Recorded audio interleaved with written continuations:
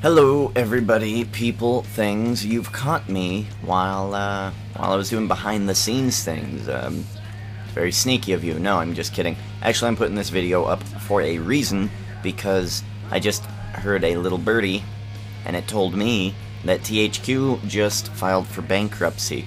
Now, in that video, which is a machinima video, that's where I'm getting my stuff from anyway. And so it must be true. It's it's from one of the higher people who know what the hell they're talking about, not the people who spread dirt sheet lies. Um, now he says that the game won't WWE 14, and most likely the next uh, whatever game that is, the other one, the, the one with the with the bad weapons and stuff. I, I haven't played too many. Saints Row, Saints Row. The first one was awesome, and then it just got comical. Anyway, those games, the next ones should be. Uh, unaffected. So no worries, we will get WWE 14, but WWE 15, ugh, it looks bleak to be totally honest. I don't think that they'll have it. Um, ah, here we go. This is why I'm here. Uh, this is also sort of a video for Universe Mode. Um, I'm going to be adding in Big E Langston. I don't know who the hell this guy is. I've seen NXT and FCW with him in it. I just kind of skipped over his parts because all he did was squash. He was almost the NXT's version of Ryback. Now, are they bringing him in for Ryback? Is that is that what they're going to do? Because Ryback versus Biggie Langston at WrestleMania. I don't know.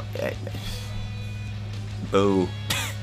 I don't know. I'm not a. I don't know. We're gonna see what this Biggie Langston can do. But I just wanted to put out there that uh, yeah, THQ has filed for bankruptcy. Don't worry, the, the future games will still have the THQ logo and stuff for the time being. Anything can change. I mean, they own it. They can do whatever they want. We're going to go one on one. Oh, let's not do a normal match. Let's do a, uh, let's do a cool match. What match? Table match. I love table matches. They're my favorite matches. And we're going to be Biggie Langston. And we're going to face someone we're gonna we're gonna have infinite finishers because we kind of want to get a scope of what this guy's all about. We're just gonna place. Oh, John Laurinaitis, perfect. We're gonna go up against Johnny Ace. John Laurinaitis, very awesome. Table match at Capital Punishment, perfect. I like it. So Biggie Langston, and I guess I might as well throw in the Slammies here. I didn't review the Slammies. Um, I, I said I possibly most likely would. I watched them. There was nothing to review. It was it was a house show. It was not good. Let's see what this entrance is for Mr. Biggie Langston though. It it was terrible. They had so many matches that I didn't even care for. But like the just the random things. I mean, Boogeyman showing up was awesome. It's like the first hour of the show was amazing. Second hour was mm, okay, and the third hour was ugh until Biggie Langston appeared. So I mean, the body looks fine. The face doesn't look right at all. He needs big popping eyes, like bulging eyes, like googly eyes. I don't know why they're. That's kind of silly. He's got a generic entrance, so nothing so spectacular about this creator wrestler so far. Alright, Biggie Langston versus Johnny Ace in a tables match. this would be amazing. Come here. Come here. Perfect, so they have his finisher already. I like it. Now we just need to build up to a signature, or let's see if he has another finisher. But how am I supposed to put that through a table? I guess I could do it on, on the announce table.